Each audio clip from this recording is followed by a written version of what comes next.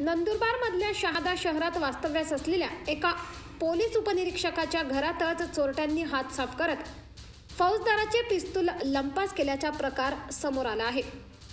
Sarangkheda police ठाण्यात कार्यरत police उपनिरीक्षक भगवान कोळी यांच्या शहादा येथील दीनदयाळ नगरमधल्या राहत्या घरातून अज्ञात चोरट्यांनी एक शासकीय सर्व्हिस पिस्तल तसेच पिस्तलचे तीस जिवंत काडतूस यांच्यासह एक लाख बारा हजार रुपये रोख तसेच पन्नास हजार रुपये किमतीची दहा ग्राम वजनाची सोन्याची लगड असा एकूण एक लाख बासष्ट हजार रुपयांचा ऐवज लंपास केले आहे.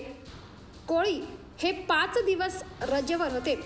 घरी परतल्यानंतर त्यांना हा प्रकार निदर्शनास आल्याने पिस्तल व जिवंत काडतुसे चोरी प्रकरणी अज्ञात चोरट्यांविरोधात शहादा पोलीस ठाण्यात गुन्हा दाखल करण्यात आला आहे.